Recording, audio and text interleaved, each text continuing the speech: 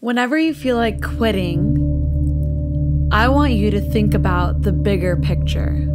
What is the lesson behind your current challenge? Where are you holding on a little too much? And where can you start letting go?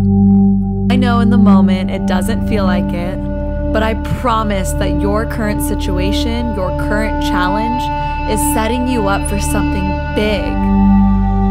The next chapter of your life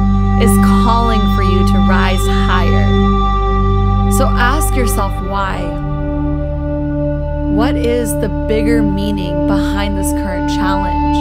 And how can I take the lessons behind this meaning into the next chapter of my life? Challenges are just steps in order for us to rise higher in the staircase of our life.